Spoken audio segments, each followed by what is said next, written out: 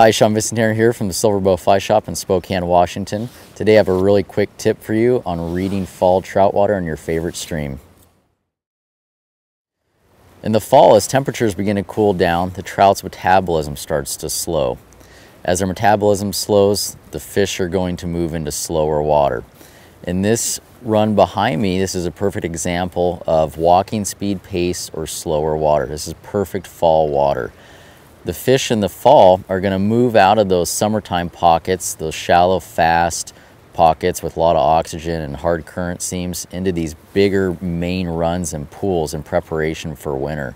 So if you can focus your efforts on just the main pieces of water, the main runs, the main pools, and kind of skip over those small, shallow, fast summertime pockets, you're on your way to finding more trout in the fall as temperatures begin to cool down.